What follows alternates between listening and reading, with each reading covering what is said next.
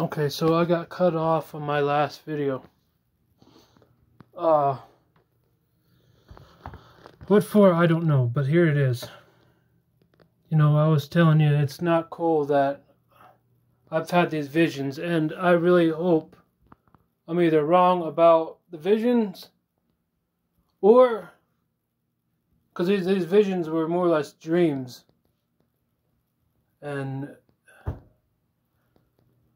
you know, I I get visions of things and I hear God himself talking to me at times. I don't really get dreams, but this is the third dream in a row like like I've had. I had some time to calm down since I fixed things and my memory on my phone so I can get uh these things uploaded. Man, Marcus, I am serious. I really hope that God you're not like how I should, was shown.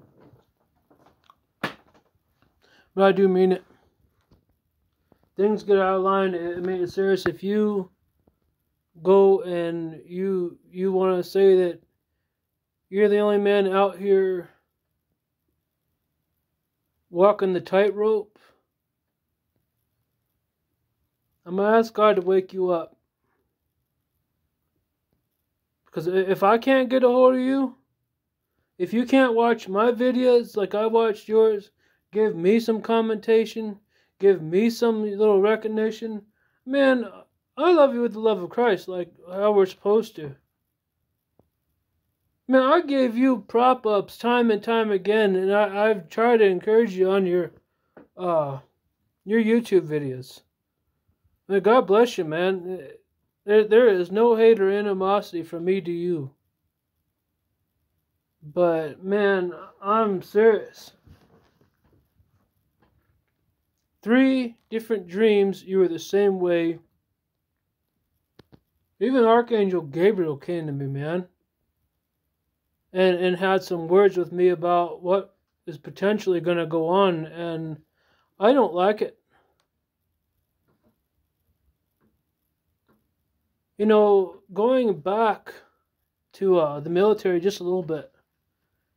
You said you were a sergeant in the United States Army. I mean, I was an E4. I was promotable, but I had so much tragic, stupid uh, reversal on me. It, it was nonsense how much treachery I put up with in the military. It was nonsense. I had people trying to kill me that were in my own uniform. The United States flag, rank, and all that, and people were still trying to kill me. Because I was exposing what was wrong with the system and how damnable that these people were that are trying to refuse getting not right by Christ, but right by right by the system, right by the code of ethics and the code of conduct, which is in the military. And these people are trying to just do whatever they want. That also correlates with the body of Christ and this army of Christ that we're trying to build, this kingdom.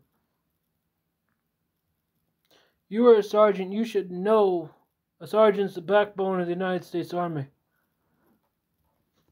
Pastors are the backbone. They're, they're pretty much the same thing. They're a sergeant. They're a backbone of the ministry. Prophets are, are the head, of the top. Prophets are above the apostles. I don't know if you recognize that. The the ministry goes in the five uh, for the five. Pastor apostle bishop deacon uh that's not in the correct order but anyways i hope you know what i'm getting at. Anybody else watches this i hope you know what i'm getting at. You got five different so-called ranks with this paperwork, this nonsense. Uh, it's total nonsense to me.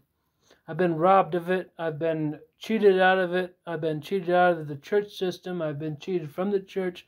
I've been lied to by the church. I've been robbed to by, by the church. And the Christians who did it are supposed high up and are famous and well known, and they're not going to be told they're, they've done me wrong. They're going to say, no, they didn't do it. They're going to lie to your face. But we'll tell you why, like you say, and the Bible says, everything's going to be revealed at the end. And people are not going to like what's going to happen. Because they're, they're going to be shown. It's going to be shown that I was robbed. It's going to be shown. But the thing is not about me, man. It's about you and what I'm telling you. You showed a real nasty sign of weakness in a time that you need to be strong. I, I told everybody else, you know, it's like Michael, God sent Archangel Michael to me to tell me it doesn't matter who wins this election. There is a firestorm. I'm going to put it nicely. I'm not cussing. But that's what he said. He said a storm's coming either way. It doesn't matter who, who gets in the office. It doesn't matter who takes the noble seat. There's a storm coming. And blood will be shed. I don't get those prophecies, man. I don't I mean I do like I don't like sharing them. That's what I mean. I don't like sharing them. I get them all the time. I speak things on nations. I speak things on people. I speak whatever. And things happen. You know, just like the story of Christ and the, the Roman centurion. The Roman centurion said to Christ, Hey, you don't need to come to my house. I'm a centurion. I speak and my soldiers go. I say come and my soldiers come. You speak and your word and it shall happen as if I had spoke to my soldiers. I speak like that. Things happen. I'm not calling myself Christ. I am not Christ. I refuse to be called Christ or even think about calling myself Christ. I refuse to be somebody who I'm not. I refuse to be called somebody who I'm not. And I refuse to walk a path of Christ because I am not going to finish that. The Bible says that we are all falling short. So guess what? I am not going to try to do something that I am already set up to fail. That's a waste of my time. I'm just going to live my life how I'm going to live it you live your life how you're going to live it, but I'm going to give you a, a small little um, patch if you're going to take it. Please don't go gloating and showboating like that you're the only one.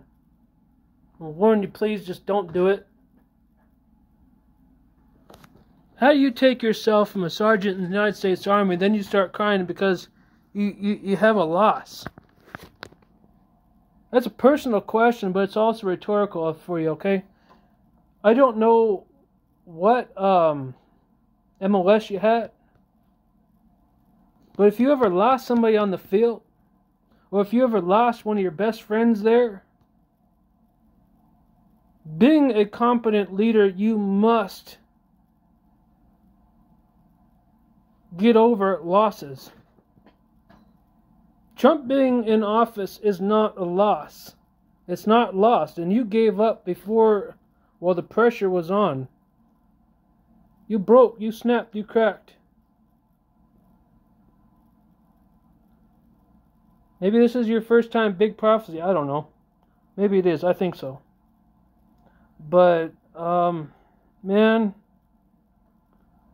I'm out here. I'm trying to get a hold of you. I'm trying to contact you. I'm trying to work with you. I'm not trying to start no animosity. I'm not trying to start no hate. I'm not trying to give you no bullcrap that's gonna, you know, make a division in the body of Christ. I, am saying, man, you need to fix yourself because you're the one making it, doing the uh, when people are looking up to you and you're you're folding. Christ didn't fold when he was under the pressure. Peter folded, Thomas folded, better part of the apostles folded. Even, you know, everybody knows that uh, Judas folded the worst. He gave Jesus up for 30 shekels of silver. 30 shekels of silver, man. 30 freaking shekels of silver. Let me show you something. Let me show you something right quick. You know, this is pretty lame. 30 shekels of silver. You see this? Little silvers. 30 of these things. 30 troy ounces of silver. Oh, I got about 100 here. 100 pounds, or not 100 pounds. Whatever. Man, load of crap. Man, you need to pick yourself up by the bootstraps. Put on your big Texas belt.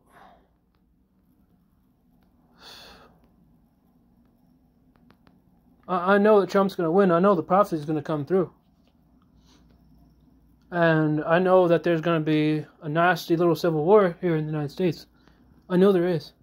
It's not no fantasy talk. If Michael said there's going to be blood and there's going to be um, Archangel Michael, as you know, uh, he's family to me. Like I said, I, I'm Nephilim. I don't care who, who says what. I know I have it in my blood. I was told that. I know that. I know who I am. I know how I stand. I know who I am. Anyways, the thing is that there's going to be blood and there's going to be a fight. Prepare yourself, man. Prepare your people, man.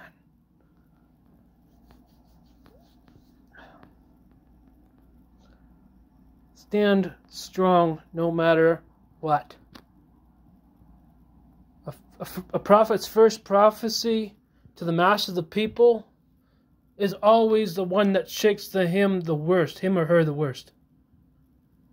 I get it. You know, I get it. You're always wondering if it's going to come through if you heard right. You did. You stand firm in what you said. Doesn't matter if you've seen a vision. It doesn't matter if you had a dream. It doesn't matter if God said, hey, listen. Okay? It doesn't matter. If you know what you heard, stand with it. Don't let nobody shake you. Nobody. If you're a man of God on this earth and you stand as you are, strong. If you stand with the strength of Samson, use the wisdom of Solomon and the faith of Elijah. Not no mountain, not no wind, not no earthquake will move you, shake you, or bend you.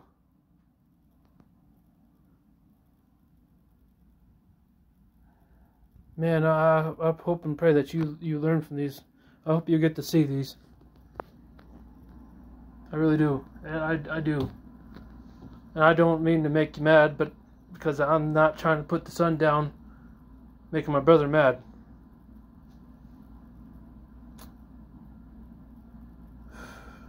God bless you, man.